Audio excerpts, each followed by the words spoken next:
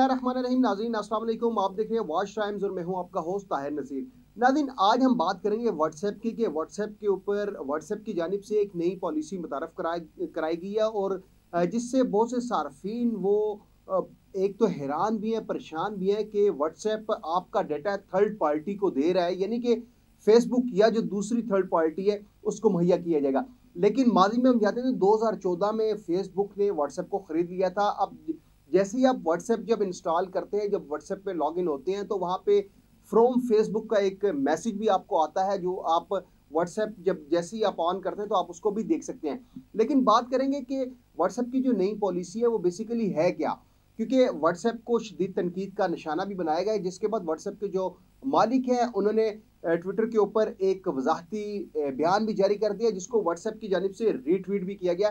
لیکن جو نئی پالیسی ہے بیسیکلی آج بات کرتے ہیں کہ نئی پالیسی ہے کیا؟ دیکھیں، آپ کوئی بھی ایپ جب استعمال کرتے ہیں تو اس میں آپ اپنا تمام بایو ڈیٹا مہیا کرتے ہیں، جس کے بعد آپ اس ایپ کو انسٹال کر سکتے ہیں اور جیسے ہی کوئی ایپ آپ انسٹال کرتے ہیں تو وہ آپ سے لازمی یہ پوچھتا ہے کہ آپ اس کو کیا ایکسیس دے رہے ہیں؟ کانٹیکٹس تک میڈیا تک، جو آپ کا پکچرز ہیں، جو آپ کا ڈیٹا ہے تو اسی طرح واٹس ایپ آپ دیکھیں فیس بک پہ جب آپ لاگ ان ہوتے ہیں تو فیس بک پہ جب آپ اکاؤنٹ بناتے ہیں تو وہاں پہ بھی آپ کو انفارمیشن ان کو مہیا کرنی پڑتی ہے، اس کے بعد آپ کا فیس بک اکاؤنٹ بنتا ہے۔ اس طرح جو واٹس ایپ کی جو نئی پالیسی ہے، اس کے متعلق یہ کہا جا رہا ہے کہ آٹھ فروری تک اگر آپ نے واٹس ایپ کی جو پالیسی ہے، اس کو ایکسیپٹ نہ کیا تو آپ کا واٹس ایپ اکاؤنٹ ڈیلیٹ ہو جائے گا۔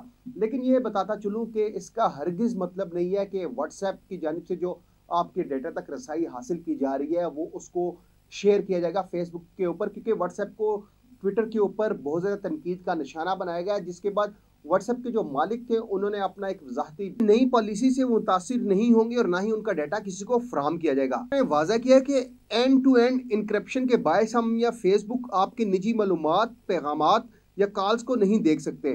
اس ٹیکنالوجی کی فراہمی اور عالمی سطح پر اس کے دفاع کے لیے پرعزم ہے۔ انہوں نے کہا کہ ہم نے اپنی پالیسی کو شفافیت کے لیے اپ ڈیٹ کیا اور اس میں people to business option feature کی بہتر وضاحت کی گئی ہے۔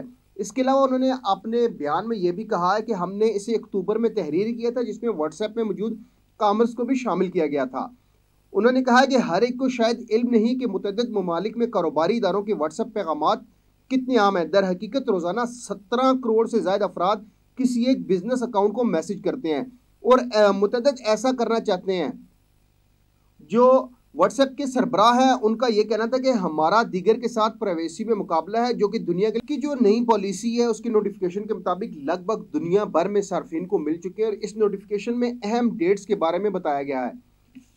صارفین کے ڈیٹا کے حوالے سے کمپنی کا اختیار بڑھ جائے گا اور کاروباری ادارے فیس بک کی سروسز کو استعمال کر کے واٹس ایپ چیٹس کو سٹور اور مینج کر سکیں گے۔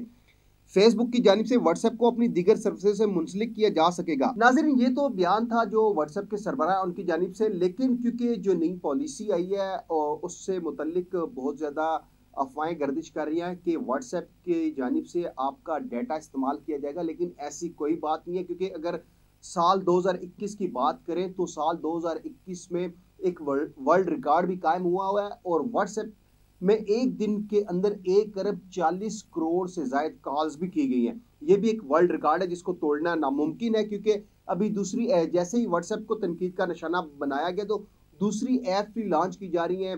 جو ہمارے پاس اطلاعات ہیں کہ ترکی کی جانب سے بھی ایک ایپ متعارف کرائی گئی ہے۔ اس کے علاوہ ٹیلی گرام کے اوپر بہت زیادہ لوگ جا رہے ہیں، لیکن واٹس ایپ کے سربراہ نے بھی اپنے میسج میں یہ بتا دیا ہے کہ ہرگز اس نئی پالیسی کا مطلب یہ نہیں ہے کہ ہم آپ کا ڈیٹا اٹھا کے کسی دوسرے فرد کو مہیا کریں گے، یہ صرف ایک بزنس کے طور پر استعمال کیا جائے گا۔ کیونکہ واٹس ایپ اور فیس بک کبھی یہ نہیں چاہے گا کہ ان کا جو بزنس ہے وہ متاثر ہو۔ دیکھیں، روزانہ تقریباً تیس ارب سے زائد افراد واٹس ایپ کا استعمال کرتے ہیں۔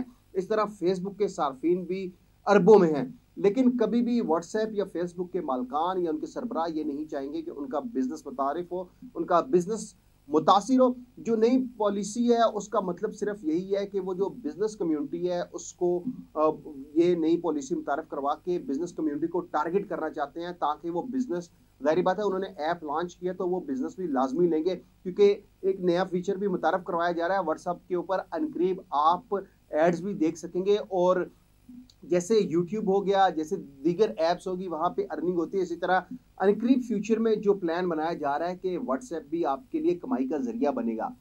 آج تک کے لیے اتنا ہی، اپنے ہوسٹ طاہر نصیر کو اجازت دیجیے۔ اللہ حافظ۔